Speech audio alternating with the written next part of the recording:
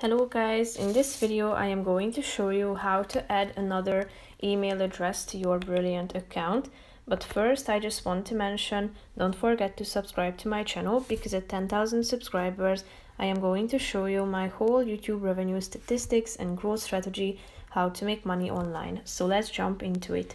First of all, open the application on your phone tap on the more button down below which is the last option. After that tap on account settings which is the second option. Click on email address.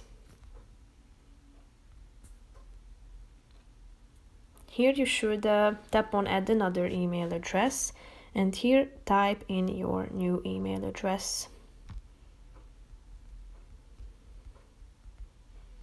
After that click on add email and if you want to um, uh, verify your email address tap on send verification.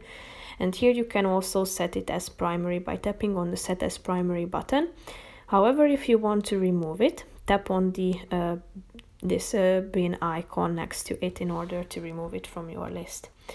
So that's pretty much it for this video guys. I hope you found it helpful. If you did consider subscribing and see you in the next video. Bye bye